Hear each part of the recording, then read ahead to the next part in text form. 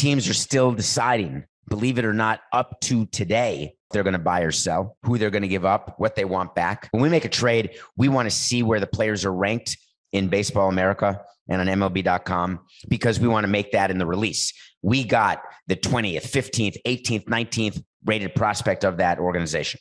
Sometimes we would trade for a player who was not ranked, who we liked better than a player who was ranked, but we asked for the player who was ranked so then we could put it as part of the PR release. Because for fans, they look at rankings, executives don't.